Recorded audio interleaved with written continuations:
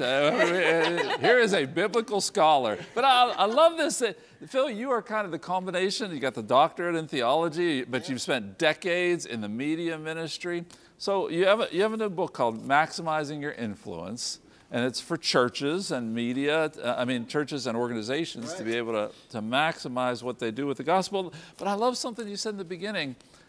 Do we even believe the gospel ourselves? Talk, talk, a little bit about that. Well, I wrote a book years ago called The Way Back How Christians Blew Our Credibility and How We Get It Back. And we thought, we, you know, my co writer Jonathan Bock and I, we, we've sat around, you know, fire pits thinking about why Christians have lost their influence in the culture, why Christianity seems to be marginalized. And we thought, okay, we're not telling our story well, it's a branding problem, it's a marketing problem. So we started looking at research. And when you look at the research of how Christians live their lives, it's horrifying. We're just not good Christians. I mean, we're bad salespeople. We don't have a marketing problem, we have a sales problem. And um, it's, it's like going to the headquarters of Coke and everybody there is drinking Pepsi. I'll give you a great example. We found out that uh, 40% of church going Christians today, sitting in the pew on Sunday, read their Bible once a month, rarely or never.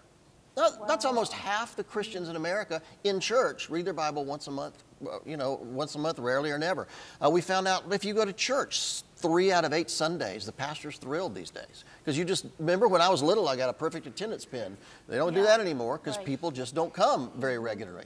So w- there's just tons of research out there that indicates one of the reasons we're losing influence is not because of marketing or branding or anything. It's just because the world looks at us and thinks, if they don't, you know, they're not any better Christians than that, why do I want to become one of those people? So you're right.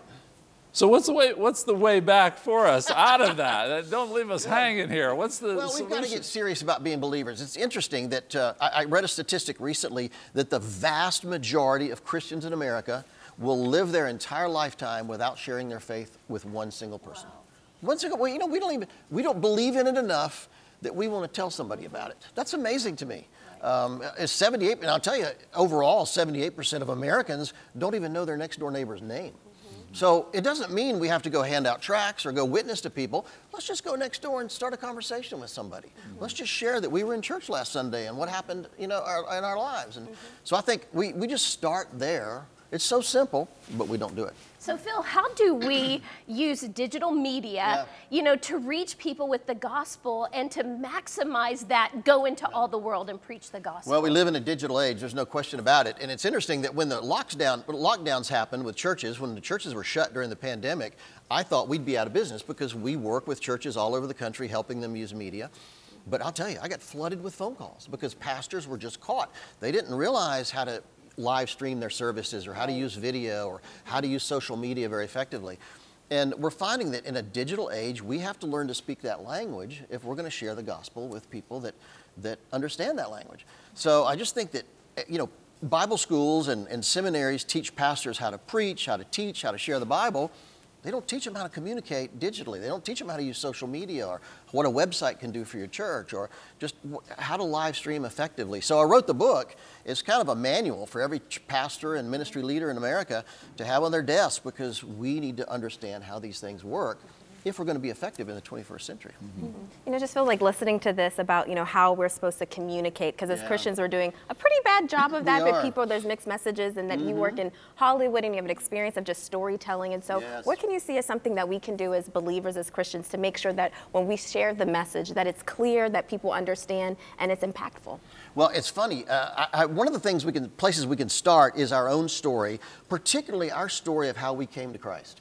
Uh, if you look at collectible comic books, the most valuable collectible comic books of all time are origin stories. How Batman got started, how Iron Man got started. People are fascinated with origin stories. I, I worked years ago for Oral Roberts when he was doing his primetime TV specials. And as a teenager, Oral got healed at 17 from tuberculosis, yeah. dramatic healing, and he told that story all the time. Every time he'd preach, he'd tell it. Every time he'd write a book, he'd tell it. Every time he had a phone call with somebody, he'd tell it.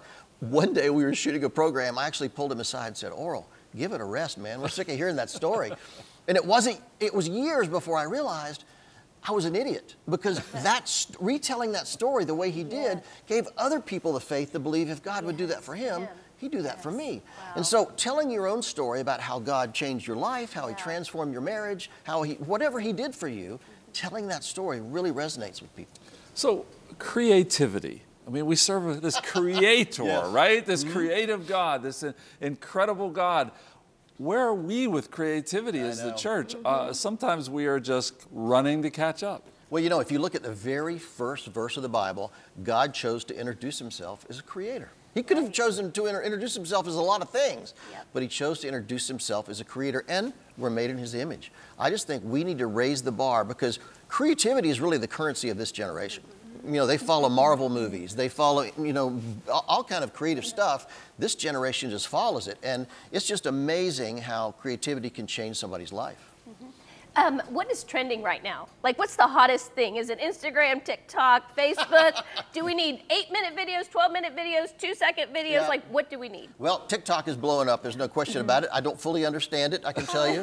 My, That's a queen. TikTok She's a apostle right Yeah. over my there. son-in-law, my son-in-law Chris Guerra has almost a million followers on TikTok, What? and uh, it's just amazing Wow. what cl- what connects with people. Um, Instagram is still wildly popular. I, I really like it a lot, although they're they're censoring more and more stuff. I'm noticing. Yeah. Uh, Facebook is doing the same thing. So. I just think, you know, we, one thing I'd, I'd want everybody to understand is social media is social.